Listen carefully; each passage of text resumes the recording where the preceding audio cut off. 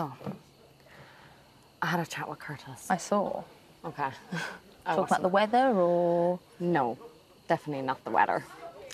Um, so, from day one, I did say if I came in here that he would have been one of the guys that I would have went for.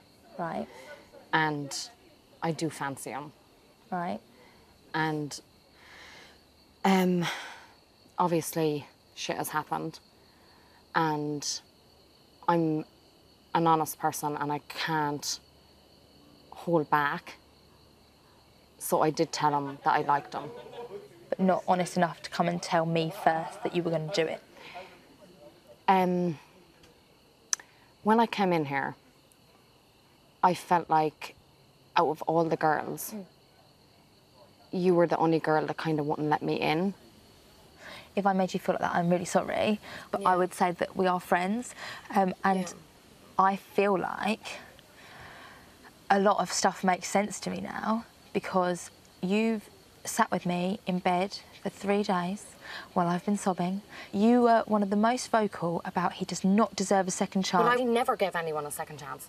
I have never in my life gave anyone a second chance because I know when you give someone a second Yeah. chance, they will do it again. Yeah. I just I just feel like now, now I know what I know. I'm like when you were telling me like just get rid of him, do not give him a second chance. I'm like If you think, was if that- you honestly think that I've done that to try and swoop in, you're very, very wrong. I just feel like you could have come to me first. I hate. Like, I've been heartbroken, and I know how hard it is. And I really don't want to see you upset. I really don't. But I just know in my heart, if I was to leave and I didn't say to him exactly, That's fine.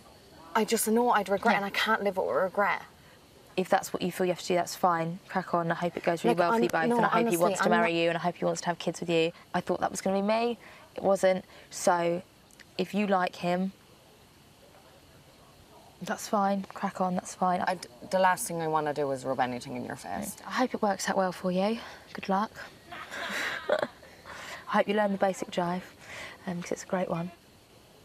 Part of me thought because Maura is such a girl's girl, um, I thought she was pulling me over to be like, just so you know, Curtis just tried to crack on with me. I didn't think that Girls Girl of the Year 2019, Maura Higgins, would be the one who'd done the cracking on with the boy that broke my heart.